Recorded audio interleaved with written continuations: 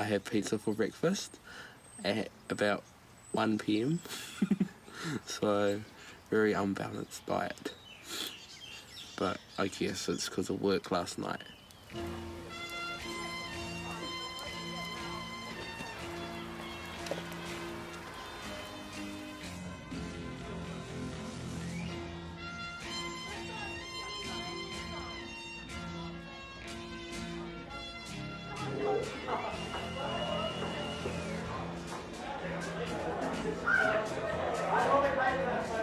I work in a supermarket and I study biomed and I work here.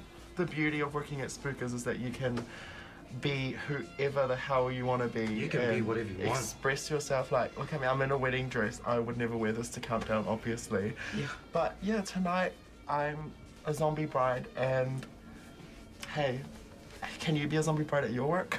Yeah.